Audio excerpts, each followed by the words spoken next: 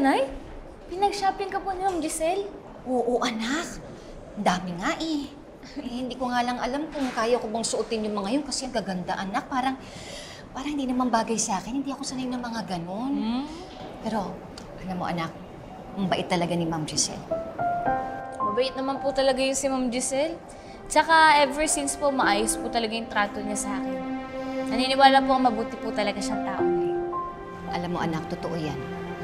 Hindi mo talaga maitatago yung pagkatao. Lalabas at lalabas yung totoong mong kulay. Alam mo anak, ang dami kong natutunan kay Ma'am Giselle. Siya yung nagpaintindi sa akin na what you allow is what will continue. Hmm, Kaya nga, alam mo anak, hindi na talaga ako papayag na apihin pa tayo ni Moira. Kailangan putulin ko na yun eh. Kailangan putulin ko na nang sa ganon, hindi na tayo apihin pa. Kailangan lumaban tayo. Tama yan, Nay. At syempre, kasama mo po akong lalaban. Tsaka dahil po kayo nating backup. Backup? Hmm. Parang si Doc Carlos.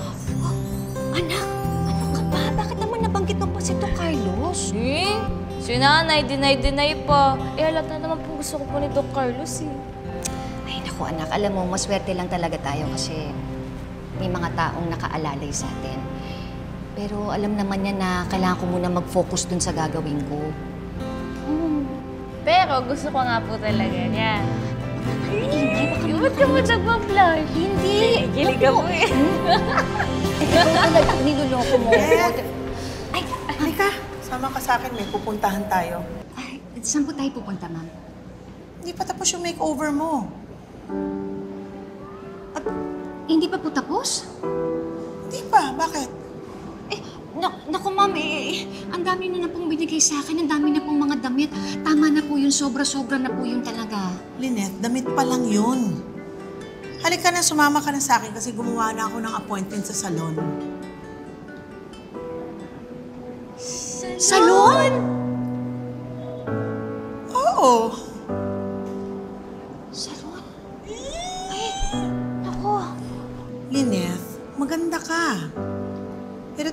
Mas lalabas pa yung ganda mo kapag naayusan ka. Ano, Annalyn? Gusto mo sumama sa amin?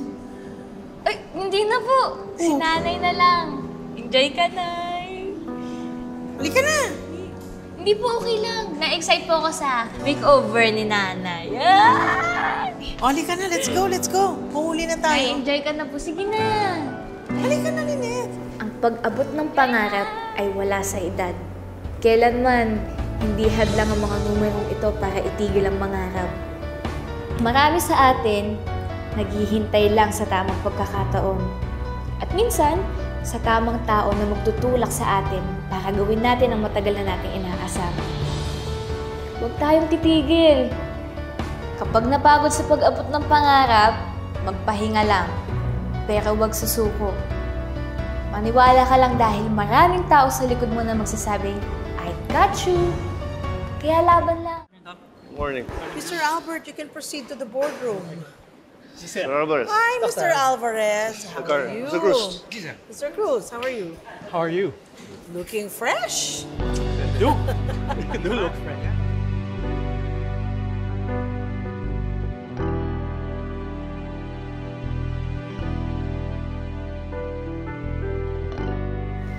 Oh, nandiyan na pala si Lynette.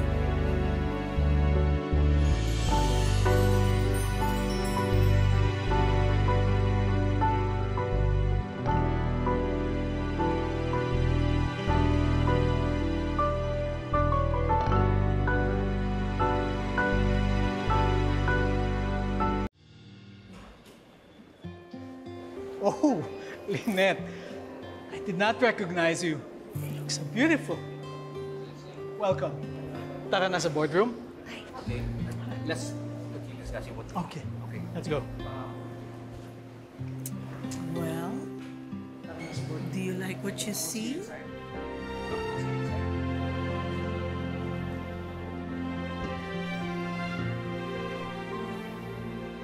Hmm. Let's go.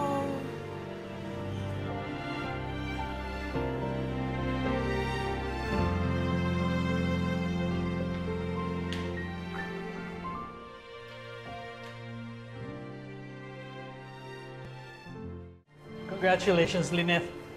Oh, welcome aboard to Eastridge. Maraming salamat po. Yes. I will try my best po para dito sa posisyon na pinagkatiwala niyo po sa akin. I'm sure, otherwise you will be here. Well, congratulations again, Lynette. Good luck. Thank you po. Congratulations. Giselle, we'll go ahead. Thank you, sir.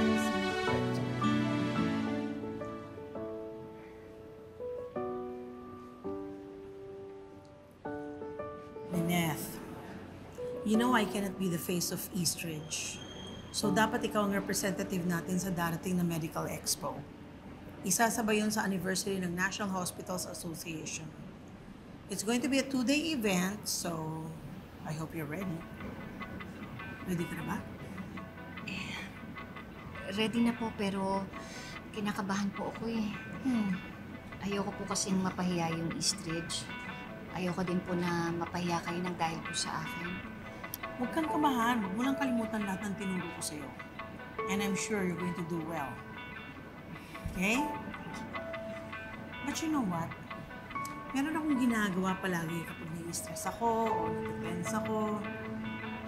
Sobrang gandang therapy na Talaga pwede po? natin gawin. Ay, eh ano po yun? Baka pwede ko pong magawa para mawala din po yung, yung kaba ko. Sure. Ano po yun? Shopping! Shopping therapy. Shopping? Yes! Ako, eh, ma'am, sorry po ah. Eh, wala po akong budget eh. Pero sasamahan ko po kayo. Wag po kayo mag-alala. No, no, no, no. This is on me. And we're going to go all out kasi hindi tayo magpapatalbog sa kahit na sinong hospital. Lalong-lalo sa Apex. Ma'am, pupunta po si Moira. Si Moira pa! She's not gonna miss it for the world. Diyos ko, si Moira ang hilig-hilig ng rumampa. Andun yun for sure. Nakahanda ka na ba sa muli niyong paghaharap?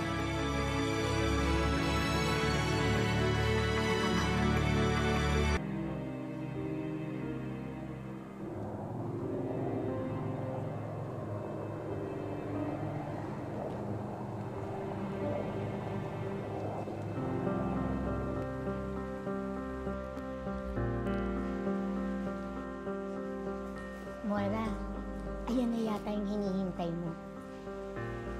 Hindi kaya yan yung sinasabi ni Giselle na common friend namin. I can't wait to meet her. I'm so sure that she's so excited to meet you as well, Moira. what are you laughing at? Nothing. I was just telling my friend earlier that I'm sure magkaka-stiff neck ka sa kakatingala sa kanya. But apparently, nauna na palang nabali yung leeg mo.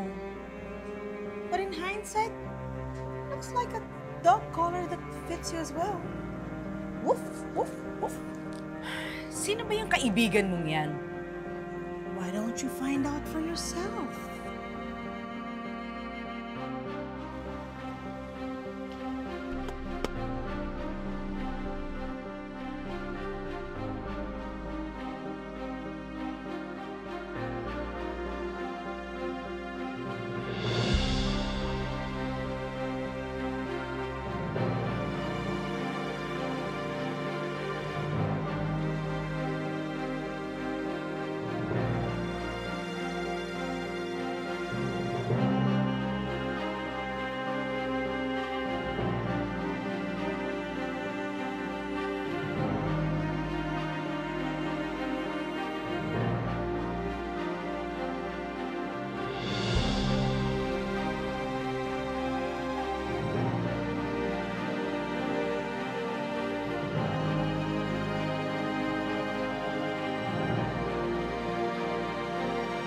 ね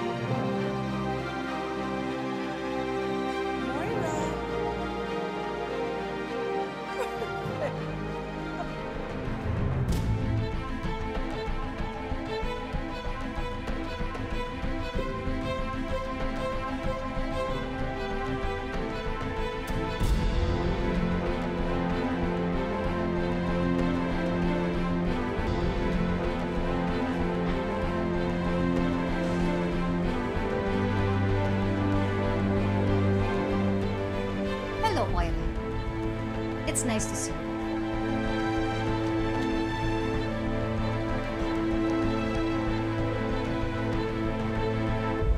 Anong ginagawa mo dito? She is the head of operations of Eastridge Medical Center. Miss Lynette Santos. Kahit ano pang mamahaling damit or jewelry ang isuot alam naman ng mga taong walang laman yung kokote mo.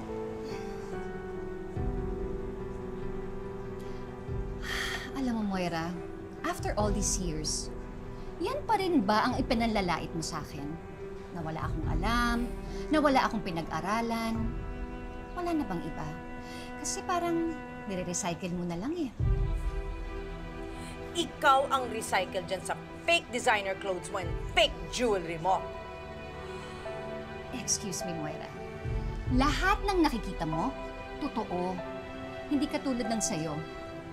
Puro na lang salamat, doktor. Ouch, ouch, ouch, ouch. Lynette, dahan-dahan ka naman masyado namang nasasaktan si Moira. Because it's so true. Anyway, alam mo, Moira, sayang. Sana pati yung utak mo, pina-opera mo na. Nang sa ganun, kuminis-kinis naman yung magaspang mong ugali.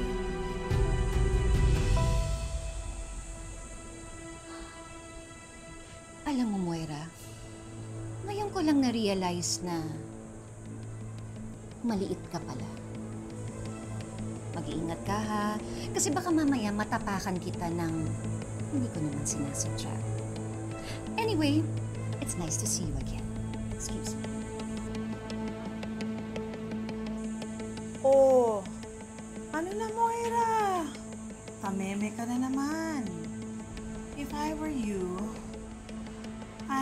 Take a little recharge, girl. Kasi umpisa pa lang ng game, talunan ka na. So, see you around.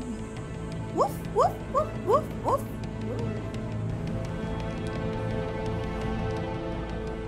Moira, napansin mo ba yung necklace na suot ni Lynette? Di ba yun yung sa Dolmari?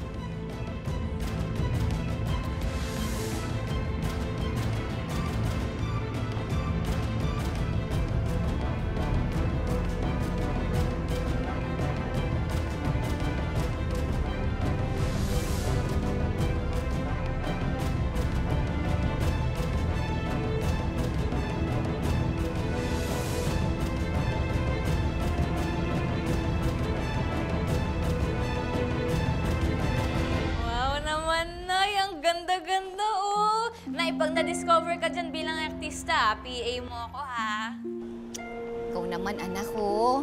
Pinapangiti mo ko. Salamat ah, kasi gumaan yung pakiramdam ko eh. Naku anak, alam mo ba kanina? Nagkita kami ni Moira. Grabe talaga yung kaba ko. Bakit po, Nay? May ginawa po ba siya sa'yo? Inaway ka po ba niya? Gusto mo po, bakapan po kita dyan. Anak, ano ka ba? Okay lang ako dito. Inayo ko naman yung una namin pagkaharap eh. Tsaka isa pa, nandito naman ang tita Giselle. Buti naman po. Saka si Tito Michael po eh. Pupunta po dyan mamaya kasama po si Doc Denise. Sabi ko nga po, batayan ka po niya. Ha? Naku! Naku, wag na anak. Nakakahiya. At saka, huwag na natin istorbihin ng Tito Michael mo. Baka mamaya may masabi pa yung girlfriend niya, diba? Huwag na. Anak, kaya ko yung sarili ko, promise. Basta po, Nay ha. Kapag may nangyari po dyan or may ginawa po si Ma'am Moira, sabihan mo po ako kaagad. Pupunta po ako dyan. Oo, anak, pero okay na okay ako. Kaya ko yung sarili ko. Basta, mag-iingat ka ha pag natapos na yung duty mo, ha? Opo, Nay. Ingat ka rin po dyan. Mag-enjoy ka. Ganda-ganda mo, Nay. See you, Nay. I love you.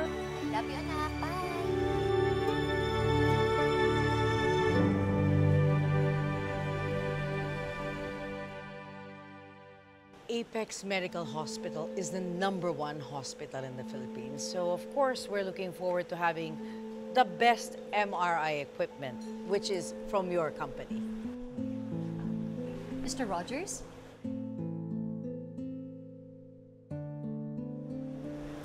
Wait, isn't that a caduceus necklace from Del Mare.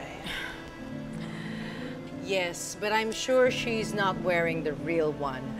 Nor does she even know what the Caduceus symbol stands for. Caduceus is a traditional symbol of the Greek god Hermes, often mistaken as a symbol for medicine, but in reality, the rod of Asclepius is the true symbol for medicine.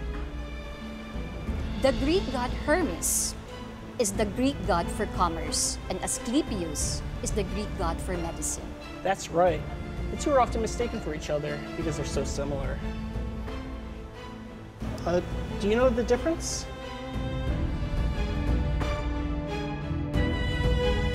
Caduceus features two snakes winding around a winged staff. The rod of Asclepius features a single snake winding around a simple staff. Very good. Uh, I'm sorry, you are. I'm Lynette Santos, uh, head of operations for Eastridge Medical Hospital. And you're Mr. Rogers, right? From ENG? Yes. Uh, very nice to meet you, Mrs. Santos. Nice to meet you. Uh, uh, would you tell me more about Eastridge? I'm, uh, Sir, here, this way.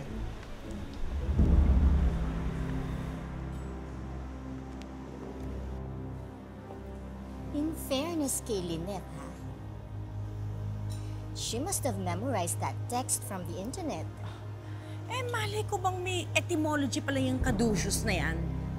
Isipin mo, pinahiya niya ako sa vice president ng ENG. Mukhang siya pang may alam at mukhang ako yung bobo. So what now? What are you going to do about it? Eh, hindi ka nga nakasagot.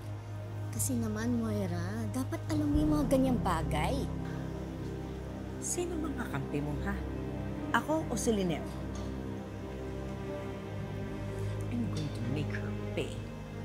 Total, mukhang uhaw na uhaw na yan si Lynette sa kaka-Ingles. Bibigyan ko siya ng mainom.